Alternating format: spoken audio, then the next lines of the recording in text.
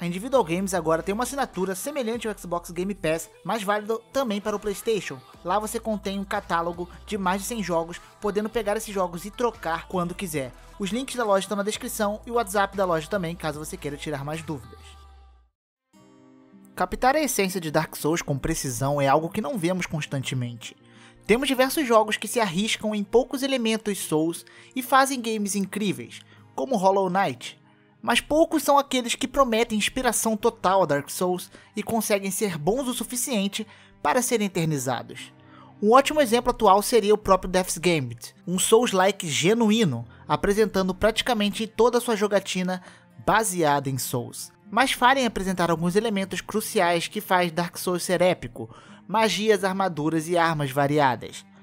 Ou o próprio Lords of the Fallen, que faz o dever de casa muito bem com o jogo estilo Souls puxado para o 3D, com movimentação de personagem muito caprichada, coisas que poucos jogos estilo Souls 3D conseguem fazer. Movimentação mais lenta, mas bem projetada, porém com pouquíssima inovação e uma curva de dificuldade baixa. No meio desses jogos baseados em Dark Souls, embora muitos jogos sejam divertidos, existe um que toma o pódio de melhor desse gênero. Muito bem conhecido pela maioria dos fãs, surgiu em 2016 produzido pela Sky Studio Salting Sanctuary.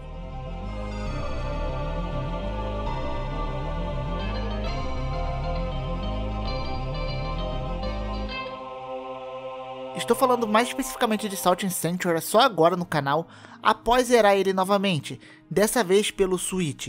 E a experiência dele jogado no modo portátil é simplesmente incrível e satisfatória. E sim, teremos a lore completa desse jogo, a história completa dele, em breve aqui no canal. Eu sou o Hades e hoje nós iremos falar como Salt Sanctuary captura tão bem a essência Souls e aplica de uma forma incrível em um mesclado de Castlevania com Dark Souls e Bloodborne. E antes da gente começar, eu peço para vocês sempre deixarem a sua inscrição aqui, clicando em se inscrever. E, se não deixou o like ainda, clique aqui no like e leva apenas alguns segundos. Salt Sanctuary surgiu com a proposta de mesclar o tão popular gênero Metroidvania com Dark Souls, e temos como resultado um game side-scrolling 2D sem mapa, desbloqueando habilidades novas que nos permite alcançar locais que no início não podemos, e todos os elementos Souls conhecidos, dificuldade, perca de sal equivalente à alma ao morrer, podendo recuperar e caso morrer antes do caminho, você perder esse sal para sempre, armas e armaduras bem feitas que alteram a aparência do seu personagem, variadas e que mudam o moveset. Inicialmente, somos convidados para criar o nosso personagem antes de começar a nossa aventura. Podemos fazer uma customização básica, escolher nossa classe, que simplesmente define os atributos iniciais e as armas e armaduras que vamos começar, podendo ser mudado livremente conforme você joga. Um presente, um item inicial que você escolhe começar. E tudo dá início então dentro de um navio, em que você deve levar uma princesa em segurança para um casamento arranjado, onde isso iria assegurar a paz do reino. Porém, o navio é atacado, sabe-se lá por quem, e você é morto ou não, e assim ocorre um naufrágio. Você acordando na praia de uma ilha misteriosa, com religiões e devoções diferentes, onde você simplesmente não pode morrer. Você é um Natsal, nascido do sal, essência básica na qual um humano é construído. Logo de cara somos apresentados a um sistema de crenças que temos no jogo e aos santuários. Santuários esses que são basicamente as fogueiras que temos em Dark Souls. As crenças basicamente são como as Covenants. Entretanto, se você trair uma crença, ela se torna sua inimiga. Mas você pode pedir perdão por isso. Cada crença que você evoluir, as vendas dos NPCs serão diferentes. Então, dependendo da build, algumas crenças serão melhores que as outras. E falando em NPCs, além dos NPCs fixos que a gente encontra, que eles atribuem com a narrativa da história, que temos os NPCs que são os NPCs relacionados aos santuários. Eles não se reúnem em um mapa fixo, se você chama eles com oferendas nos santuários. Se você fizer uma oferenda com um ídolo de pedra, por exemplo, um ferreiro vai até aquele santuário. É como se você recrutasse NPCs. E por falar nisso, você pode recrutar um mercenário e assim jogar co-op local com um amigo. Infelizmente não tem multiplayer online, é apenas local, no mesmo videogame. E assim somos lançados ao mundo de Salting Sanctuary, onde devemos seguir em frente para chegar ao fim, tentar aprender um pouco sobre a história. História essa que é contada com pouquíssimas informações. apenas apresentando diálogos, cenários e lendo descrições de variados itens.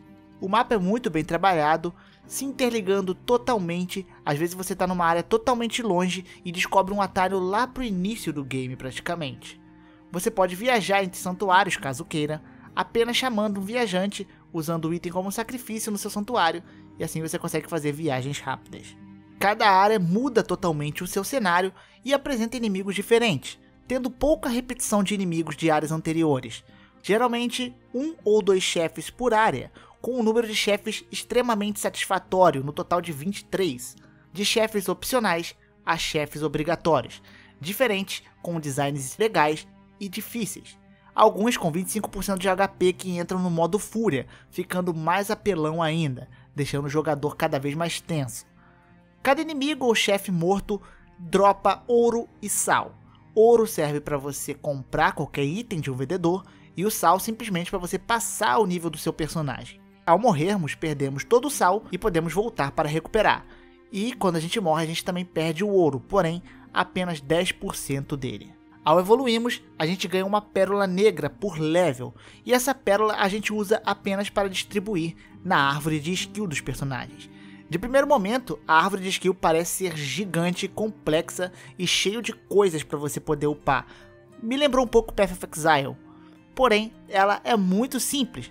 Basicamente, os ramos definem o rumo da sua build, e cada parte da árvore que você distribui basicamente aumenta um ponto em um atributo. Atributos esses que são força, endurance, que determina o seu equip load, quanto maior, mais equipamentos pesados você pode usar sem ficar rolando lentamente, destreza, willpower, magic, sabedoria, e ao invés de você colocar almas em cada atributo, como em Dark Souls, você evolui colocando orbes nela dentro da árvore de habilidade. Essa árvore de habilidade não apresenta nenhuma habilidade, nenhuma skill nova ou skill passiva. Todas as skills são compradas em NPCs separadamente. A única coisa que temos diferente, além dos atributos dentro dessa árvore de habilidade, são as Masteries, que pertencem a um grupo de arma. Ou seja, tem arma que você quer usar, por exemplo, uma espada, só que essa arma para você conseguir empunhá-la, você precisa ser espadachim no nível 4. Logo, você tem que ir upando os pontos da sua árvore ali até chegar no espadachim 4. Ou uma magia que exige que você tenha um nível de magia 3. Aí você tem que upar a árvore ali de magia até chegar ponto que é magia 3. E depende isso muito da sua build. Ah, inclusive o número de poções que você carrega é definido também pela árvore. Você pode aumentar definindo um ponto ali que aumenta a sua poção. Assim você consegue usar as armaduras e armas da sua build, e que são uma das melhores coisas que tem no jogo. Variedade é uma coisa muito bem-vinda, e armas diferentes, armaduras estilosas não deixam a desejar em Celts. E implementam e muito no combate, obviamente, que por sinal eu ainda não falei dele aqui. Basicamente você tem o mesmo combate de Dark Souls, com a diferença que o pulo é um elemento necessário e a esquiva simplesmente se limita da esquerda e para a direita. Fora isso, funciona tudo de forma muito semelhante. Armas com movesets diferentes, armaduras que interferem no seu peso, fazendo você rolar mais rápido ou de forma lenta, defendendo mais ou defendendo menos, defesa com escudo, parry, barra de vida e estamina. A diferença é que a barra de estamina diminui o tamanho máximo com o uso de magias, chamado de fadiga, Assim, quando a barra de estamina diminui o máximo até a metade, você não consegue mais usar magia. Isso te impede de usar magias infinitas, mas você pode recuperar isso daí no meio da luta usando poções. E a barra de vida, que é afetada com ferimentos. Conforme você apanha, mesmo você recuperando a sua vida com a poção, a sua vida máxima diminui, até você achar um santuário para descansar. Salt também possui um esquema de transmutação, que permite você adquirir armas novas com base em armas que você já tem, usando itens no processo de alquimia. Muito semelhante ali com a transformação das armas de chefes que a gente tem em Demon Souls. E também habilidades que te permitem acessar áreas novas do mapa, como se movimentar melhor explorando o mapa. E essa parte aí é a parte que ele puxa bastante de Castlevania. No início você vê uma área ali que você não consegue acessar, mas que se você voltar lá futuramente com aquela habilidade, você vai conseguir acessar e pegar aquele item ou descobrir uma parte nova do mapa. Salt é um jogo que merecia alguma DLC. É um jogo que você fica com desejo de quero mais, você se diverte a cada momento com o objetivo de melhorar o seu personagem, montar a sua build, fazer o seu estilo de jogo.